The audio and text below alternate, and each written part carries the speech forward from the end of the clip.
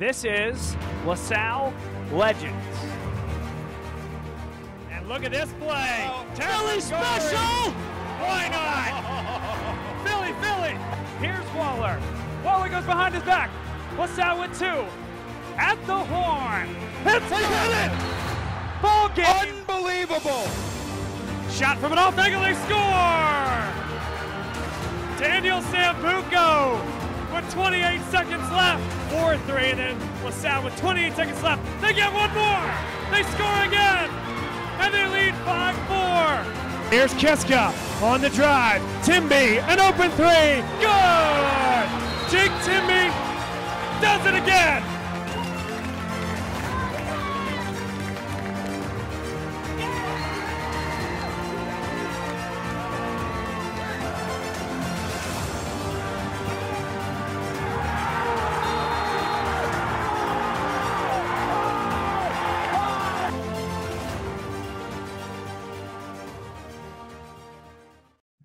Welcome into the inaugural edition of LaSalle Legends, where we go back and uh, take a walk down memory lane through some of the greatest moments of LaSalle athletics history.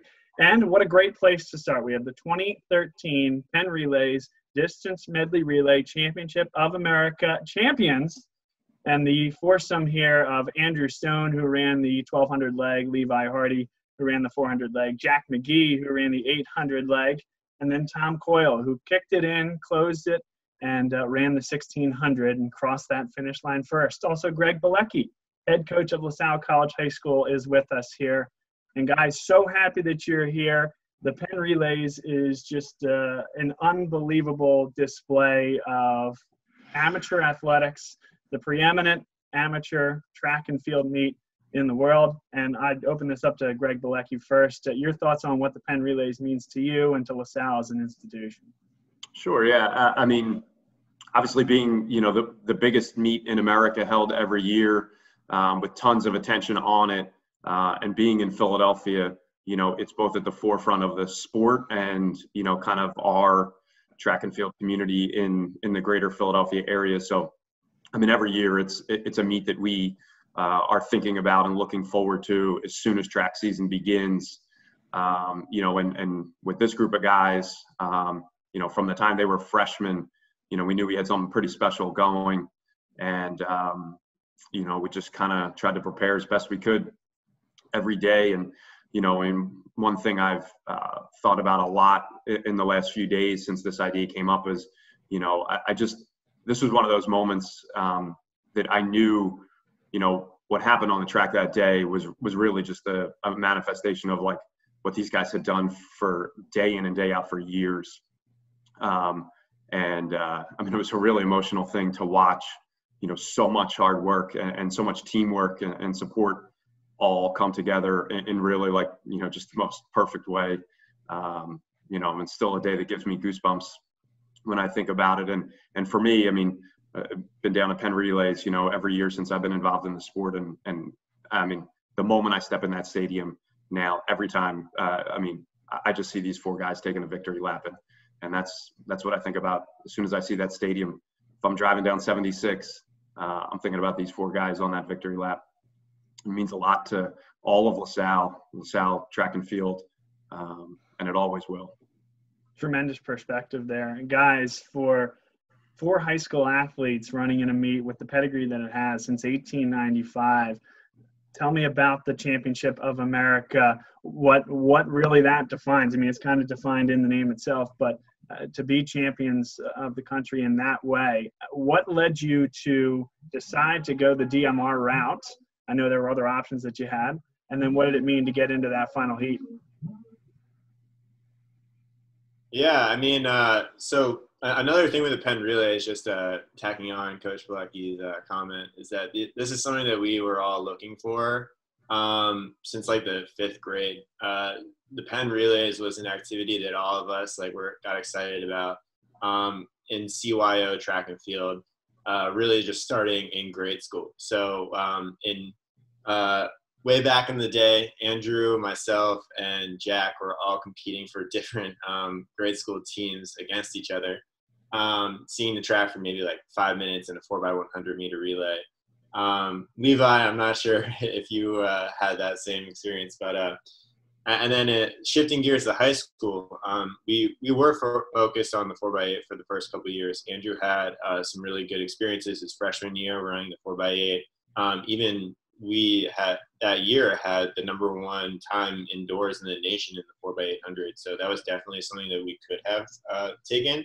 Um, but just kind of looking at our skill strengths and uh, seeing what we did the previous year in the DMR, uh, I think it, it kind of made sense um, that we could really put together something special um, and do it against the best competition, as you said, in America. I mean, uh, the the anchor leg itself um, had four sub four minute milers to be one of the best um, one of the best college runners in history, um, one of the best para, Paralympian um, runners in history, um, as well as some of the best teams in the nation um, with a giant pedigree uh, that we that are always in the national rankings every year.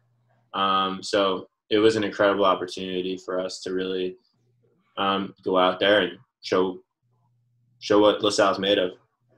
Yeah, and I mean, as far as like choosing the DMR as that event, feel like uh, Coach Black did a good job of uh, seeing what each one of our strengths was and uh, putting us, putting us in those legs, uh, really giving us the best opportunity to succeed. Uh, so, I mean, at the Penn Relays, we just everything lined up. I mean, the environment there is nothing, isn't is like nothing you ever really experienced. Um, so, I really, you know, Black did a good job with that. The only other note about the four of us running the DMR, I was actually thinking back on it.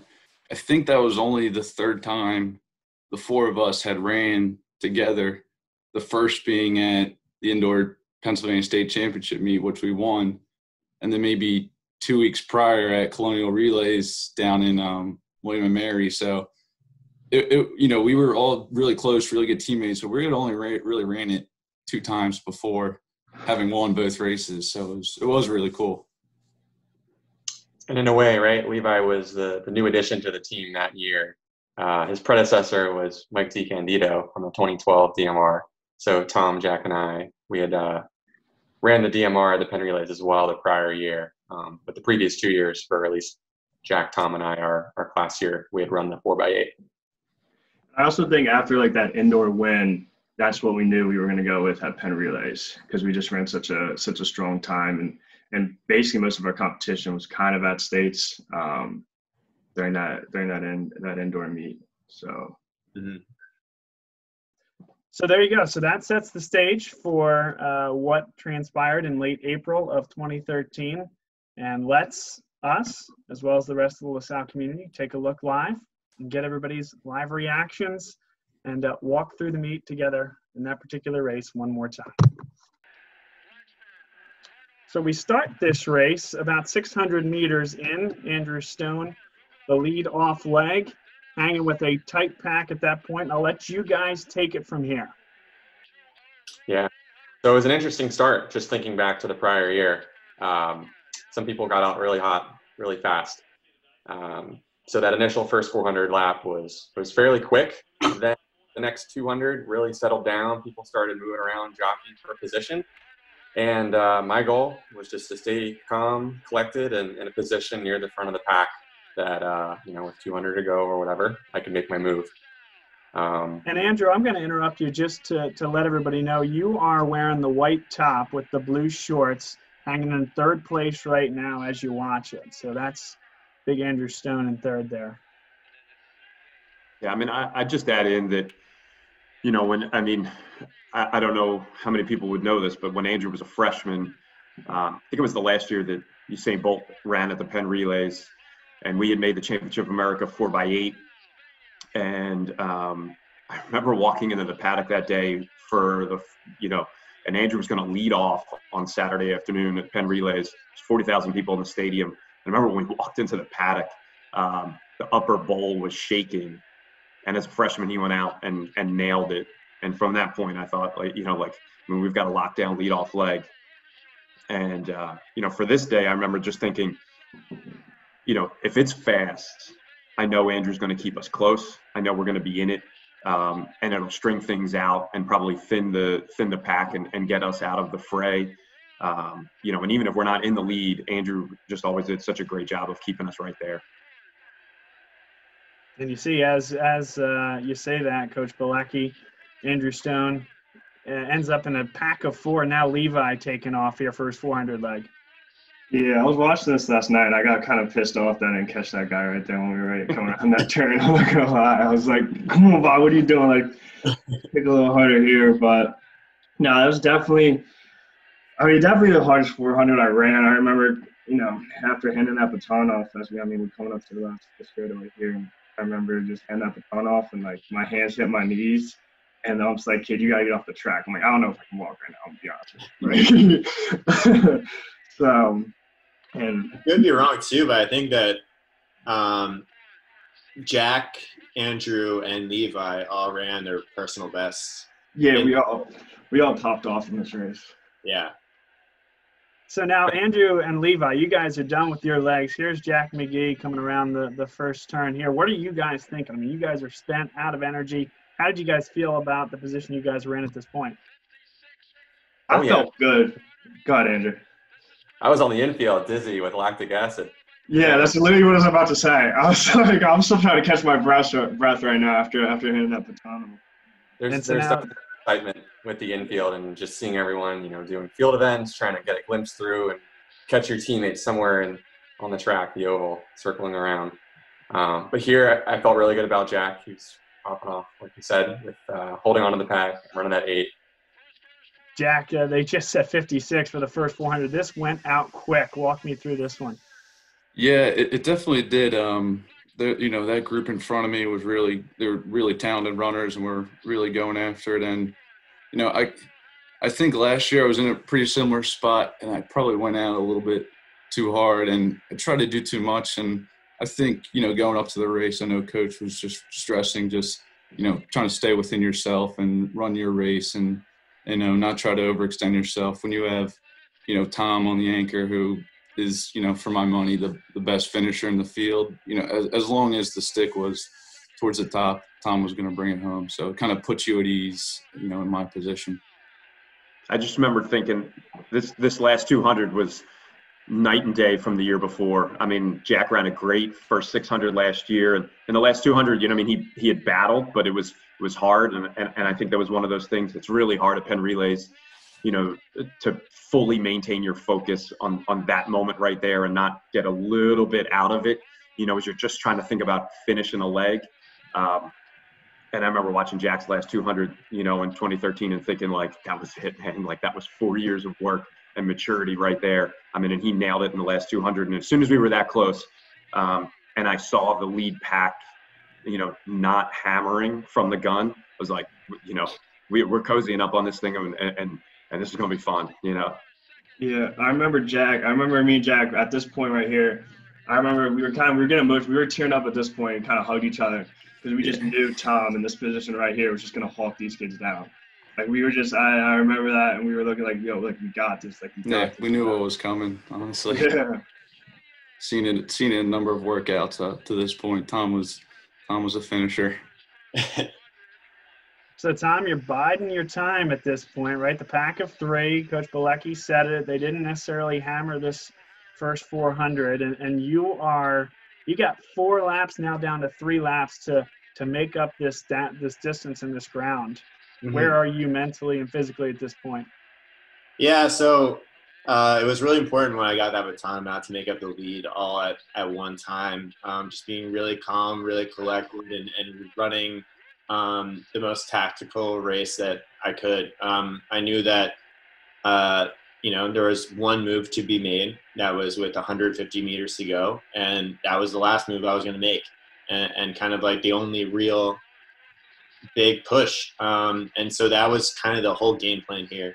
It's uh, let's get to that final lap, um, and then let's wait till 150 to really make that move. Um, so right here is just you know let's get back onto that pack, um, and let's just hang out there. Um, no reason to push the pace if they're going slow, then they're just feeding into what into my strengths. So you know, I, I was getting excited, but you got to keep that emotion down.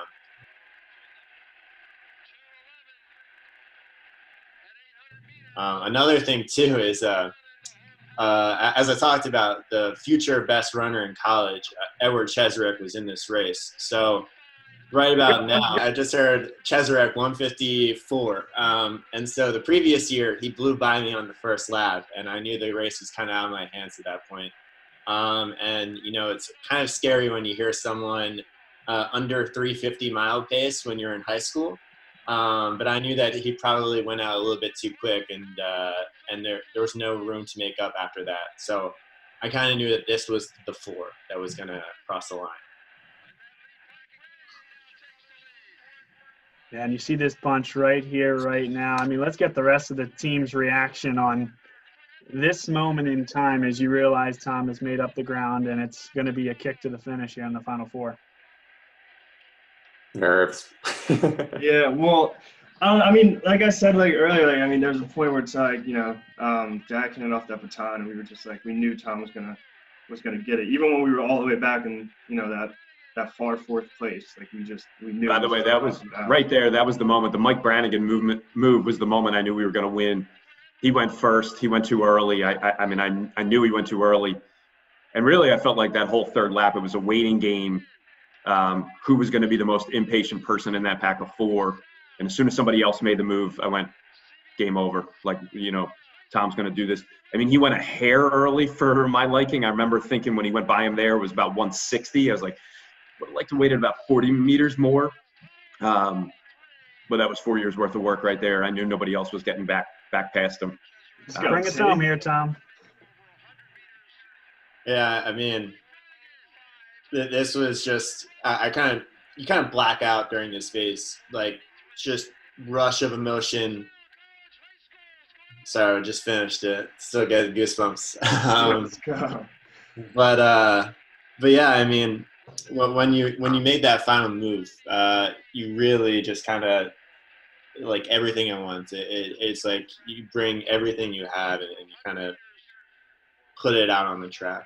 So you're in so much pain. You have all this emotion going through you. Uh, the crowd's going, and it's just this like deafening noise. Um, and so I do remember, you know, as Coach said, uh, I probably went a little bit too early. Um, I heard the footsteps coming up behind me, and, and uh, Mikey Brannigan uh, did make a second wave, um, but ultimately able to hold that off. And uh, and uh, as I crossed that finish line, um, just kind of you know thinking back on all those years, all that experience, all that talking about try to win Penn relays and, and, and do something special, like kind of just hits you all at once and um, probably celebrated a, a, little bit too hard relative to what other people think, but uh, but yeah, I mean that was just a like not just four years, but a tradition of LaSalle track and field kind of manifesting itself at one point. So uh, yeah, it was a really special time. And I, th- I think that last 200, that was like some really hard-earned confidence that you saw there. Um, I'm sure Tom will tell you, you know, like there was more than a couple times over the course of the preceding four years where, you know, I'd watched him, you know, I mean, instincts were always great. You know, I mean, I remember your junior year when you took the lead at cross country state meet, you know, the instincts were great, but I remember after the race, you know, saying to him like, you know, I, I think you made the move out of impatience. You made the move because, you know, you didn't want to sit there and wait and, you know, have to sit with the kind of building anxiety, um, you know, by, you know, by working really hard and thinking about that through all those workouts and races along the way. You know, I knew that by the time we got there that year, when he made a move, it, it wasn't a move of impatience. It wasn't a move of, you know, uh, I just got to get the lead. And, you know, it was like, this is what I'm doing and I'm doing it now. Um, you know, it was a, I mean, it was a very, very mature race, you know, one that, you know, had taken a lot of time to, to build to. Um, that was a beautiful thing. Clearly a defining moment in LaSalle cross country, track and field, the running program at LaSalle in its history. I mean, I'm not asking you to rank it, but but put it in perspective. Greg. Yeah, sure. I mean, you, you, know, you figure. Um, I mean, it's not often that you're the best team in America. Number um, one.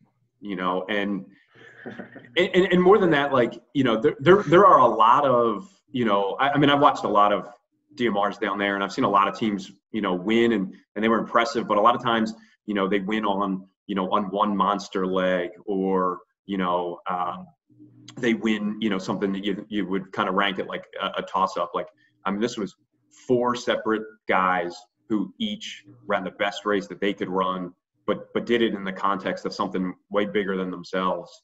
Um, you know, I, I mean, I have not been a part of anything on on the track at LaSalle that has ever, you know, been been close to this. Um, I mean, it's, you know, you know, proudest moment in LaSalle track and field in, in, in my lifetime. Um, so that's great. And so now to each of you guys, and we'll go in order as the legs ran.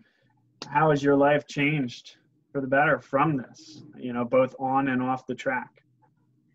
Penn Relays is uh, a fairly good part of my life. Uh, met my, my current girlfriend of five years through uh, Penn Relays. Being able to wear a Penn Relay sweatshirt and identify. But uh, but no, I think right. It's it's given um, sense of fondness, um, meaning, and and honest, honestly confidence as well. Just being able to to move forward and right, going to college for a lot of us, and uh, and running the college scene. But no, you know, the unique thing about Penn Relays is it's not just a high school meet. It's not just a grade school meet. Not even just a college meet. There's there's pros as well. And so it really spans all the different uh, competition levels. And being able to have that familiarity as you kind of advance the next level, um, it, it's something to draw upon.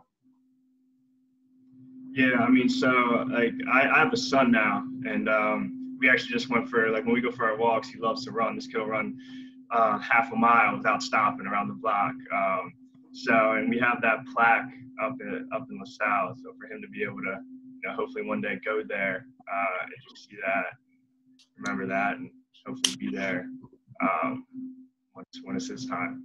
But uh, it's definitely going to be a lot for me. If, if, for me, you know, like you said, Penn Relays is a huge meet. It it can be a little bit intimidating as uh, you know, as a freshman, sophomore running down there. And, you know, when you, it, it kind of just taught me that when you kind of buy into a program, you know, really fully commit with a group of guys that you are, that you love, that you can really, you can really, if you set your mind though, you could really go out there and, um, you know, you know, accomplish your goals. And it, it could be a little bit intimidating at first, but um, when you kind of lean on these guys through those tough days, those tough workouts, um, you know it, it, it, can happen and it's it's a reality. So i mean that, that was an awesome day for for me personally and all of us so. Yeah i totally agree with what jack said. Um, another thing too is uh, you know i have a little brother who is uh, currently a junior on the team. Fortunately he won't get to uh, have any Penn relays experiences this year. Uh, but just thinking about what that meant for the LaSalle track and field program and, and people like my little brother, um, it kind of just raised the bar on on what the expectations of the program is and uh, what like what LaSalle and under the tutelage Greg Bilecki is capable of doing. And uh, I think that you've seen after after this that year, um, there was a new expectation set, and uh, in a lot of ways, those teams have met that expectation, like winning cross country states, um, consistently being on the podium across all state championships, multiple individual state championships, um, and, and, then seeing my little brother um, kind of be a part of that program and see where it's come from, you know, just seven years ago is something that's uh, really special to me. Um, and then, I mean, another thing too is that, uh, you know, Penn Relays, like, it's so sad that it got canceled this year. Like, breaks my heart. Um, but now I, I, live in San Francisco right now, and uh, you know, occasionally you cross someone who um, was somewhat related to the track scene in Pennsylvania. Here, it's a running community is pretty tight, and uh, everyone, when you find out that you're a Pennsylvania track runner, the first thing is you run at the Penn Relays, and uh, so like you know, th- those legends are, are kind of created there, um, and so it's something that never never leaves. Um, you know, you, are always a, a Penn Relays champion, and and share those stories with uh, your friends, family, and loved ones, and kind of always live on. So something really special.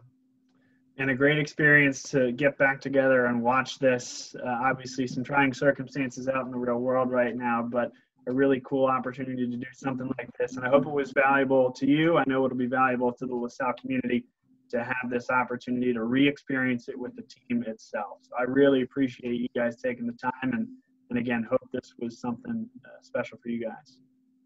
Yeah, Bob, thank you for doing this. Thanks for organizing. It's awesome. Thanks, Bob. Yeah, thank Yeah. you, Bob. My pleasure. Enjoy the rest of your day and to the LaSalle community. Hope you enjoyed this inaugural edition of LaSalle Legends. And until next time, hope everybody stays safe and healthy.